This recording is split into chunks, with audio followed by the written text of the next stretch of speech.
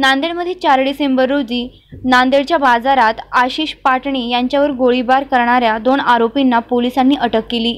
आरोपींना न्यायालयासमोर हजर करण्यात आले आहे अशी माहिती पोलीस अधीक्षक संजय जाधव यांनी यासाठी बोलविण्यात आलेल्या पत्रकार परिषदेत दिली आहे. गेल्या दोन महिन्यात झालेले दोन गोळीबार व त्यामुळे सर्वसामान्य नागरिक व व्यापाऱ्यात दहशत निर्माण झाली होती.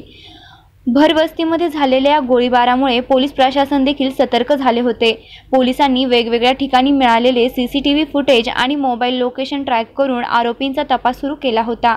यासाठी अत्याधुनिक यंत्रणा देखील वापरल्याची माहिती समोर आली आहे.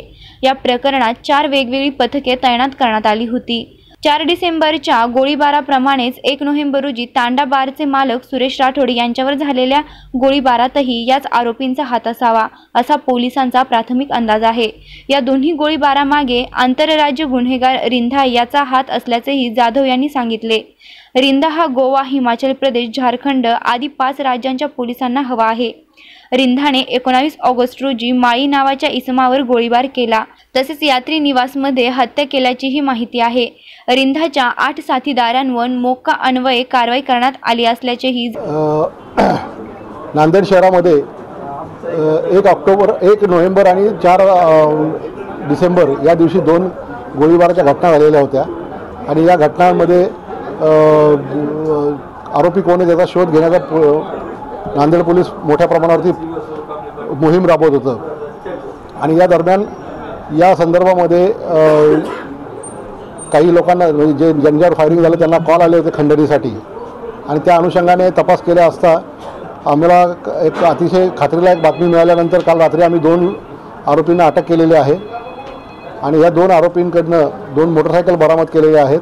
आणि या दोन्ही फायरिंगच्या खंडणीसाठी जे फायरिंग करण्यात आलेलं होतं सुरेश ता